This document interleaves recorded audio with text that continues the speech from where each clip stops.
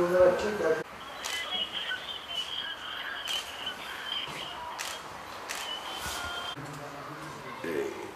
kamuoyu e, 10 Aralık e, İnsan Hakları Günü için e, Adıyaman'daki e, Cumhuriyet Halk Partisi örgütü olarak e, bütün örgütümüz, e, belediye meclis üyelerimiz, e, insan haklarından sorumlu e, il başkan yardımcımız Sayın Levent e, Bozat Bey ile birlikte e, bütün Türkiye'de e, aynı anda yayınlanacak olan e, partimizin e, tek sö- söylev anlayışına uygun olarak e, geliştirilen politika dahilinde insan hakları ile ilgili basın açıklamamızı sunmak istiyorum.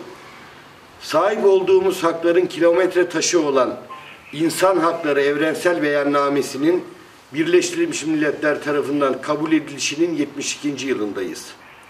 Beyannamenin kabulünün yıl dönümünde ülkemizde temel hak ve özgürlüklerin güvence altının olduğunu söylemekten, Covid-19 salgının sağlıklı yaşam hakkımızı kullanabilmekten ne yazık ki çok uzağız. İçinde yaşadığımız tek adam rejimi, hukukun üstünlüğünü değil, üstünlerin hukukunun meşrulaştırılmaya çalışıldığı çarpık, çürümüş bir rejimdir. 15 Temmuz hain darbe girişiminin ardından tek adam rejiminin yarattığı 20 Temmuz sivil darbesiyle birlikte ülkemizde hak ihlalleri katlanarak artmıştır. Ülkemizin hak ve özgürlükler karnesi eşit, özgür ve adil bir dünya için mücadele eden bizleri ve hukuk savunucuları açısından hak etmediğimiz bir utanç tablosudur. Türkiye özgür olmayan ülkeler kategorisinde yer almış, son 10 yılda dünya genelinde özgürlüklerin en çok gerilediği ikinci ülke konumuna düşmüştür.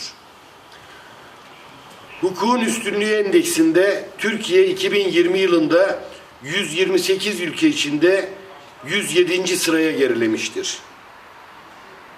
Türkiye Avrupa İnsan Hakları Mahkemesi'nin başvuru insan haklarına başvuruda 9250 başvuruyla ikinci sırada yer almıştır. Barış bildirisine imza atan akademisyenlerin düşünce ve ifade özgürlüğüne ilişkin hakların ihlaline ilişkin Anayasa Mahkemesi'nin Temmuz 2019 kararına rağmen OHAL Komisyonu tarafından hala görevlerine ia- iade edilmemişlerdir.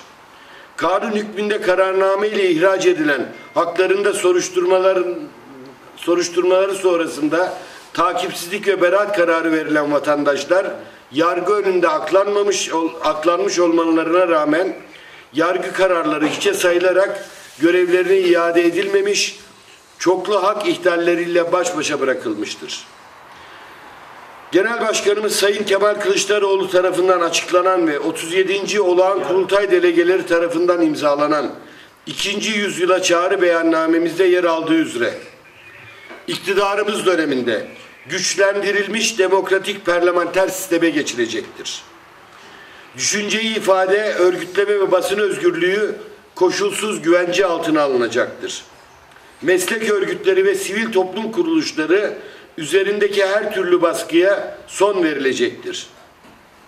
Medya özgürlüğü evrensel ölçülerde güvence altına alınacaktır. Türkiye'nin toplumsal barış ve huzuru sağlanacak.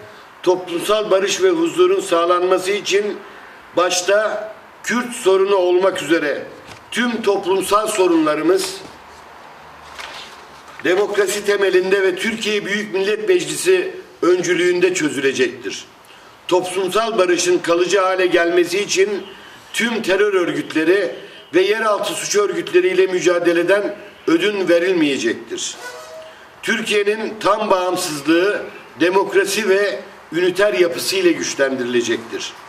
Kadın erkek fırsat eşitliği sağlanacak, kadına yönelik şiddetin önlenmesi için öncelikli bir devlet politikası hali uygulanacaktır. Cumhuriyet Halk Partisi sağlık hakkında yaşam hakkına, e, eğitim hakkından barınma hakkına, temel haklarımızın önündeki erişim engellerinin kaldırılmasının ve insan hakları ihlallerinin önlenmesinin güvencesidir. Saray iktidarı unutmamalı ki bütün insanlar özgür, onurlu, ve haklar bakımından eşit doğar. Dokunulamaz, devredilemez, ertelenemez olan temel hak ve hürriyetleri hiç kimsenin, hiçbir rejimin, hiçbir iktidarın geri alma hakkı yoktur. Adıyaman kamuoyuna saygılarımızla.